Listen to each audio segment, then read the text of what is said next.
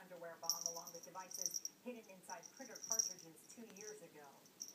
Author Maurice Sendak, who wrote and illustrated the children's classic Where the Wild Things Are, has died. Sendak took generations of children on a wild ruckus along with Max, a little boy who was sent to his room without supper. Maurice Sendak was 83 years old.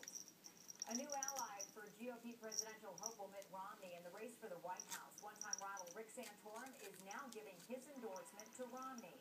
In an email overnight, Santorum asked his supporters to join in the fight to keep President Obama from winning a second term.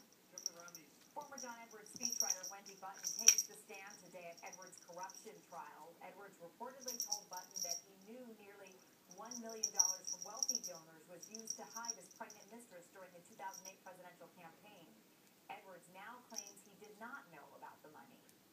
And legal proceedings are now underway in the deadly boating accident that two tourists on a sightseeing duck boat in Philadelphia back in 2010. A 250-foot barge, barge drove right over the small tourist boat, sinking it. The operators in both ships want a judge to rule that they are not responsible. The victims' families are arguing that they should be held accountable for the loss of their young, young loved ones. The producer of